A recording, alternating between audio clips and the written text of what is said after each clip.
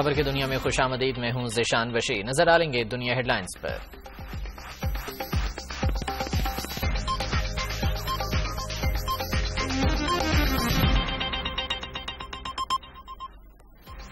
संगीन गद्दारी केस में फ़र्ज़ जुर्म आयद करने के लिए परवेज मुशर्रफ को आज पेश होने का हुक्म। वजारत दाखिला ने हमले का खदशा ज़ाहिर कर दिया।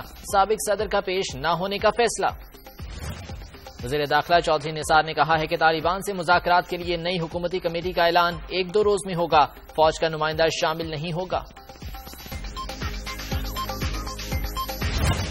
थरपारकर में वीवीआईपीज की आमद के बाद कई इलाकों की सुनी गई। गजाई किल्लत के शिकार बासियों में गंदम की तकसीम शुरू। बाज मकाम पर मकीन ताहाल, इमदाद के मुंतजर।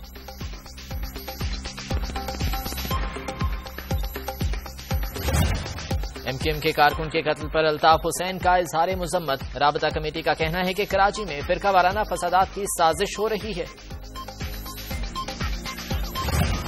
कराची के इलाके लियारी में रेंजर्स के साथ मुकाबले में गैंग वॉर के दो मुलजिम हलाक। मुख्तलिफ़ इलाकों में फायरिंग से छह अफराद जख्मी।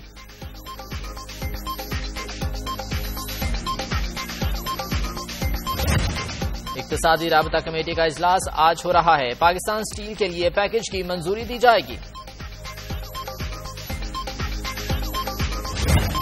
और मरी में शदीद बर्फबारी। मलका कौसार ने सुपै चादर उड़ ली। लाहौर समेत पंजाब के मुख्तलिफ़ शहरों में रिमझिम से मौसम सुहाना।